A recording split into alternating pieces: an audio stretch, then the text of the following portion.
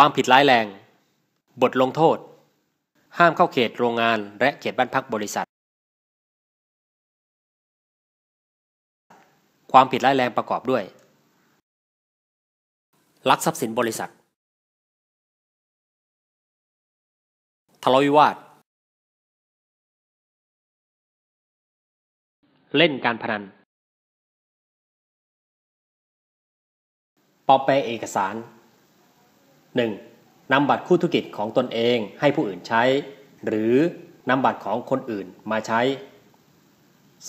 2. นำสติกเกอร์ติดรถยนต์รถจักรยานยนต์ของบุคคลอื่นมาใช้ โดยที่ตัวเองไม่มีสิทธิ์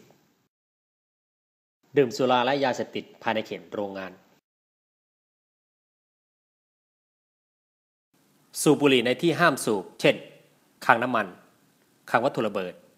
คลังผสมระเบิด และผลิตถุงกระดาษ